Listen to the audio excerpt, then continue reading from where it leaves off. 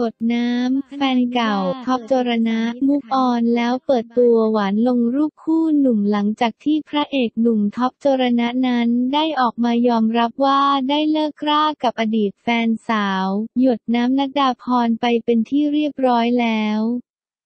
รวมถึงก่อนหน้านี้ที่นักแสดงรุ่นใหญ่ ขวัญฤดีกลมกล่อมคุณแม่ของน้องหยดน้ำได้ออกมาให้สัมภาษณ์ถึงประเด็นความรักของลูกสาวด้วยสำหรับหลายคนที่เป็นห่วง ซึ่งล่าสุดอัปเดตกับเรื่องราวความรักของหยดน้ำ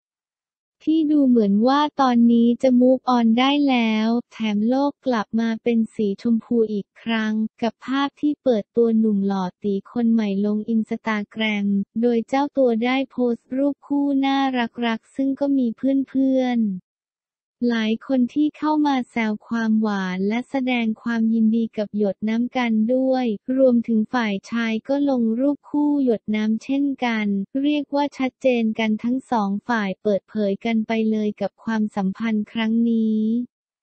ภาพช่างชัดเจนแล้วว่าไม่น่าจะโสดแล้วใช่ไหมจะน้องหยดน้ำ ขวัญฤดี เปิดใจวันทราบข่าว หยดน้ำ เลิก ท็อปจรณะ บทเรียนนี้จะทำให้ลูกเข้มแข็งขึ้น ท็อปจรณะ ยอมรับเลิก หยดน้ำ แล้วเคลียร์ปมแจ้งความผิดคน จนถูกฟ้องกลับ